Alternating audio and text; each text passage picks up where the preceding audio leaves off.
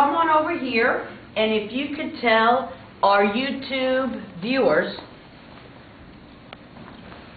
we're doing a one day in the life of the Congresswoman. Okay. What brings you up to Washington, University of Miami Rosenstiel School of Marine and Atmospheric Science?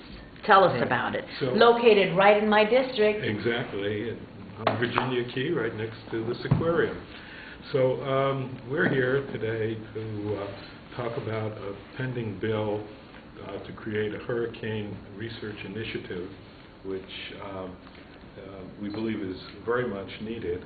It's an authorization uh, bill, which uh, frankly we we started working on actually a couple of years ago, and uh, made some progress last year, and we're hoping this year to with, with Congresswoman's help, get it over the line. We need to do it before the next big one comes. You you got it, and, and I recently heard that this is a La Nina year, which they discovered late uh, for them, but